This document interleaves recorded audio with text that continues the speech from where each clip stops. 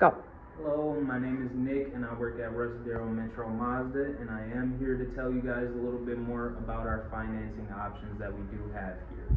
We do have a financing option here called Sunbit Finance. It's where you can stretch out your repair order bill payment to three, six to 12 months.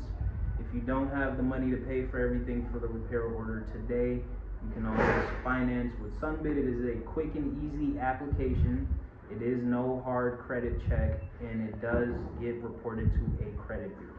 You do have to be 18 years or, or, older to apply for Sunbit and it does have a 90% approval rate for application uh, for applicants.